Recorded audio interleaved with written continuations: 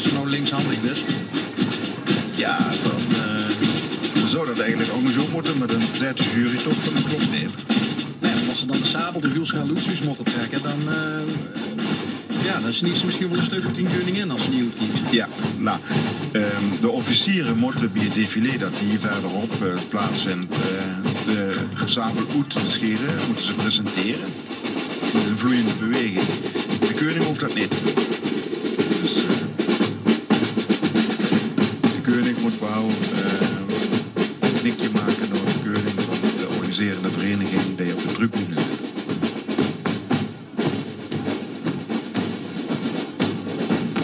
Moervoort, Sint-Urbanus,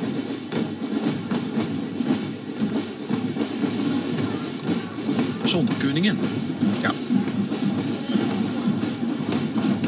Misschien heeft er een vrouw die heeft gezegd van dat heb je me zo dik geflikt, doe het nog maar zelf.